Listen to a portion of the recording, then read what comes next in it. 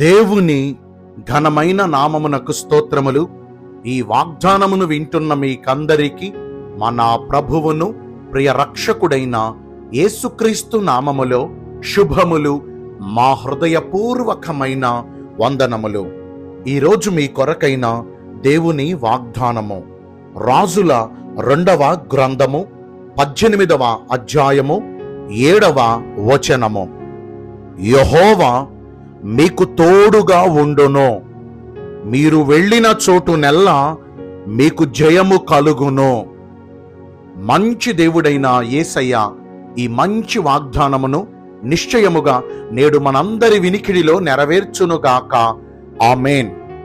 ఈ వాగ్దానాన్ని మనము పరిశీలిస్తే సైన్యములకు అధిపతి అయిన యహోవా దేవుడు ఎవరికైతే తోడుగా ఎవరి పక్షమునైతే ఆయన ఉంటారో అట్టివారు ఎక్కడికి వెళ్ళినను వారికి జయము కలుగుతుంది.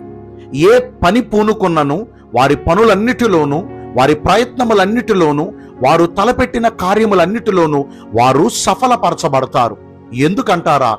దేవాది దేవుడు వారికి తోడుగా వారి పక్షమందు ఉన్నారు కాబట్టి. ఈ రోజున డబ్బు మనకుంటే మన పనులు అయిపోతాయి అనుకునేది కొందరి అభిప్రాయము. బంధువులు బలగము మన వెనకాలుంటే మన పనులన్నీ అయిపోతాయి అనుకునేది కొందరి అభిప్రాయము. పదవులుంటే అధికారులుంటే మన పనులన్నీ సక్సెస్ అయిపోతాయి అనేది మరికొందరి అభిప్రాయము. నేనొక్క మాట చెబుతాను దైవజనుడిగా. వీరు ఎవరు మన వెంట ఉన్నా లేకపోయినా వీరు ఎవరు మనకు తోడుగా ఉన్నా రాకపోయినా డబ్బు మనకున్నా లేకపోయినా దేవుడు మనకు తోడుగా ఉంటే మన పనులన్నీ సక్సెస్ అవుతాయండి. మన ప్రయత్నాలన్నీ సక్సెస్ అవుతాయండి. గత కాలంలో ఎన్నో పనులు పూనుకుని ఎన్నో ప్రయత్నాలు చేపట్టి విఫలమయ్యారు కదా ఓటమి పాలైపోయారు కదా దేవుడు మనకు తోడుగా ఉండుట వల్ల ఓటమి అంశంలోనికి మనం వెళ్ళిపోయినా ఆయన మనలను ఎంత మాత్రము ఓడిపోనివ్వరు. ఓటమి తప్పని రోజులు మనకు ఎదురైనా చేజారిపోయిన పరిస్థితుల మధ్యన మనము ఉన్నను ఆయన ఎంత మాత్రమును మనలను ఓడిపోనివ్వరు. ఎందుకంటే మన దేవుడు మరణమును జయించిన మృత్యుంజయుడు. మరణపు ముళ్ళును సైతము విరిచివేసిన జయశాలి మన ప్రభు అయిన యేసయ్య ఆయన పిల్లలమైన మనము కూడా జయ జీవితమును పొందుకుని సక్సెస్ఫుల్గా ఉండాలనేది మన ప్రభు వారి కోరిక. మరి నేడు ఈ వాగ్దానాన్ని వింటున్న ప్రియ దైవ జనాంగమా అలనాడు రాజైన హిజ్కియా ఎక్కడికి వెళితే అక్కడ జయము. ఏ యుద్ధమునకు వెళ్ళినా అక్కడ జయమే. అసలు అపజయము అనే మాట గాని ఓటమి అనే మాట గాని ఫెయిల్యూర్స్ అనే మాట గాని హిజ్కియా చరిత్రలోనే లేవండి. మరి ఈ రోజున దేవుని పిల్లలుగా దేవునిని నమ్ముకుని దేవునిని ఆరాధిస్తున్న మన జీవితాల్లో మనము ఓటమి పాలవుతున్నామా? అపజయం పాలవుతున్నామా? విజయవంతమైన జీవితంలో ముందుకు నడుస్తున్నామా?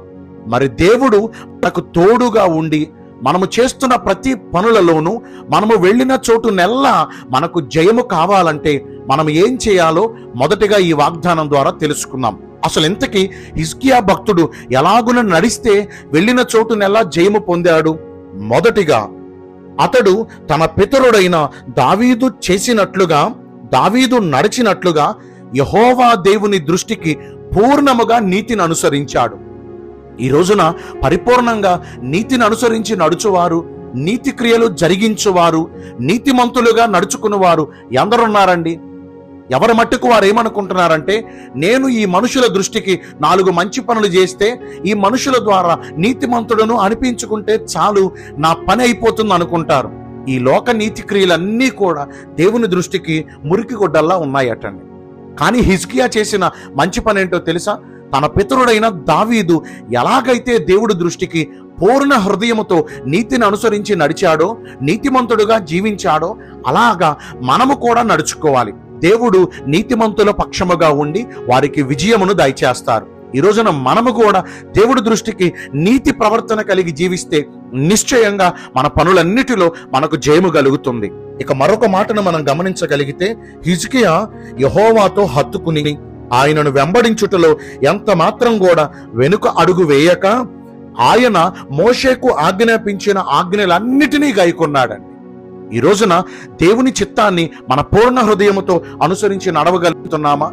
ప్రభువుని హత్తుకునుట అనగా ప్రభువుని ప్రేమించే విషయంలో మేలులు పొందితేనేమో మంచి జరిగితేనేమో దేవుణ్ణి హత్తుకుని ఉంటాం దేవుణ్ణి ప్రేమించామంటాం. ఏదన్నా కొంచెం కార్యాలు జరగటం ఆలస్యం అయితే దేవుణ్ణి విడిచిపెట్టి ప్రార్థన మానేస్తాం సన్నిధిని మానేస్తాం దేవుడితో ఉపవాసం సహవాసం చేయటం మానేస్తాం దేవుణ్ణి పక్కన పెడతాం. భక్తుడైన హిస్కియా అలా చేయలా. యుద్ధాలు వచ్చినా ఆయనను హత్తుకుని ఉండేవాడు. ప్రతికూల పరిస్థితులు వచ్చినా ఆయనను హత్తుకుని ఉండేవాడు. కాబట్టే తాను దేవుణ్ణి ప్రేమించిన చెప్పున దేవుడు కూడా హిజ్కియాను ప్రేమించి తాను వెళ్ళు చోటు నెల అతనికి తోడుగా ఉండి జయ జీవితమును దయచేశారు. మనకు అనుకూలంగా ఉన్నంత మట్టికి నడుచుకుంటాం. కొంచెం కష్టంగా ఉన్నాయి భారంగా ఉన్నాయంటే దేవుడి మాటలు పక్కన పెడతాం. ఈ రోజు నుంచి దేవుని ఆజ్ఞలు భారమైనవి కాదు కదా. ఆయన చెప్పే మాటలు కష్టతరమైనవి కాదు కదా. ఆయన చెప్పిన ప్రకారం చేస్తే చాలండి నూరంతల ఫలం మనం పొందుకుంటాం. మరి ఈ కొద్ది మాటలు దేవుడు మనందరి వినికిడిలో దీవించి మనము వెళ్ళు చోటునెల్లా ఆయన మనకు తోడుగా ఉండి జయ జీవితమును దయచేయునుగాక. ఆమెన్. మీ అందరి కొరకు వచ్చిన ప్రార్థన చేస్తానండి. పరిశుద్ధుడ ప్రేమ కలిగిన యేసురాజ్య మీ కృపగల ఘనమైన నామమును బట్టి నిండు మనసుతో కోట్ల కొలదిగా మీకు మా కృతజ్ఞత స్థుతులు స్తోత్రములు వందనాలు చెల్లిస్తున్నాము. మీరు మాకు తోడుగా ఉండి మేము వెళ్ళు చోటునెల్లా మాకు జయమును కలిగిస్తానని ఈరోజు వాగ్దానము ద్వారా సెలవిచ్చారు. లేఖనానుసారముగా ప్రవర్తించి ఈ వాగ్దాన ఫలమును పొందుకునే కృపను నేడు మాకందరికీ దయచేయండి. ఈ రోజున ఎందరైతే పుట్టిన రోజులను వివాహ దినములను ఇతరమైన శుభకార్యములను జరిగించుకుంటున్నారో వారందరికీ మెండైన దీవెనలు కుమ్మరించమని మీ రాకడ కొరకు మమ్మను సిద్ధపరచమని యేసుక్రీస్తు ప్రశస్త నామమున ప్రార్థించి వేడుకొనుచున్నాము. మా ప్రియ పరలోకపు తండ్రి amen. May God bless you all thank you